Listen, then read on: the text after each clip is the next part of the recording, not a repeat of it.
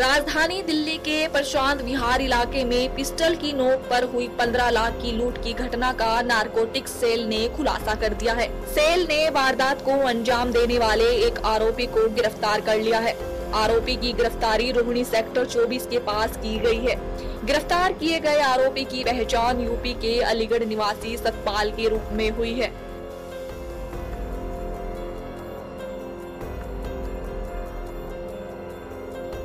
दरअसल अप्रैल 2022 को दिल्ली के प्रशांत विहार इलाके में पिस्टल की नोक पर तीन लोगों ने 15 लाख की लूट को अंजाम दिया था।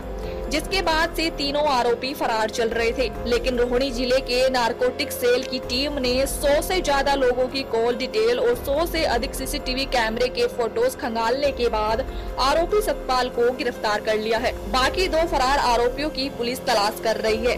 गिरफ़्तार किए गए आरोपी के कब्जे से नारकोटिक सेल ने लूट के पैसों से खरीदी गई कार भी बरामद की है।